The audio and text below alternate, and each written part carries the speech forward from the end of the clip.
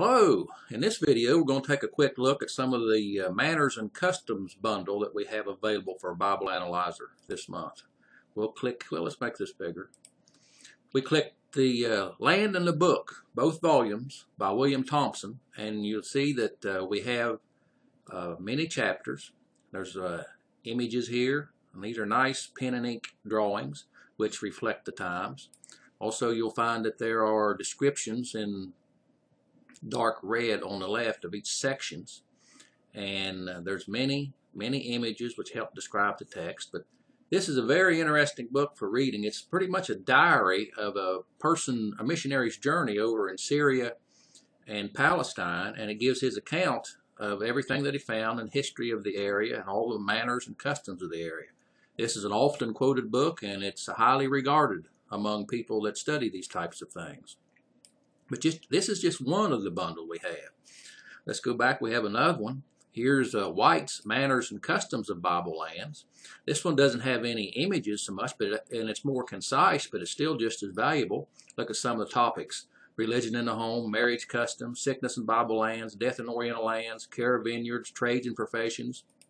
You click those and you'll see that there's a nice, interesting description of uh, the whatever the topic is. There's another one in here that we can take a look at, and it is Kent's Biblical Geography. And it has several maps, and they're in color.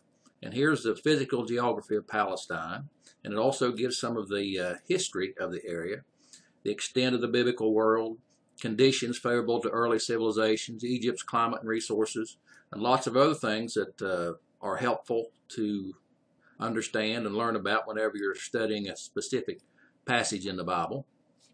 And one other uh, title, which is uh, in this bundle, is a dictionary. And this is the Handbook of Bible Manners and Customs. And this is in dictionary format and also has several images.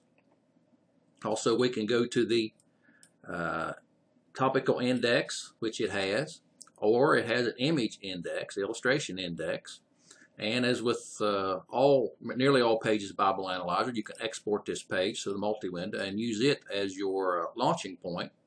And it also gives you previews. And then you can click each uh, one from there.